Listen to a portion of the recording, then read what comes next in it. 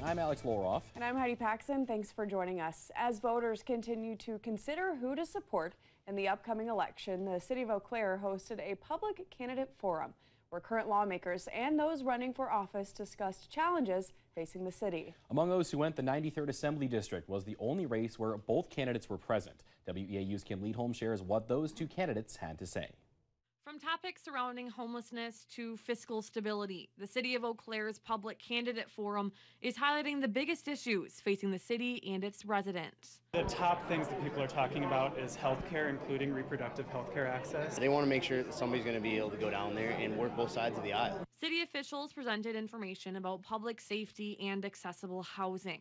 Lawmakers then shared their plans to try and address it. I think the piece that we're missing right here is it's not the big corporations, it's the, the landlords locally that have the relationships.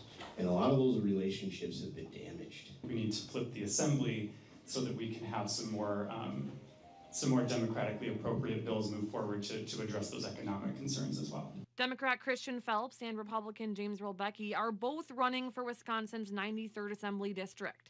We asked them, if elected, what is their biggest priority to tackle in office? The biennial state budget will be drafted very shortly after the new legislature is sworn in, so my priority is to make that as good as we can possibly make it. I want to see it invested in public schools, invested in children, increase the special ed reimbursement and catch up to inflation. There are good people out here that want to work with both sides, and that, that's that's what my whole campaign has been about: is making sure that the representation for all is getting to Madison, and we can start doing work and continue to do work here that's needed. While the methods of addressing some of these challenges may differ, both candidates say if elected, they are determined to serve the 93rd Assembly District to the best of their abilities. In Eau Claire, Kim Leadholm, WEAU 13 News.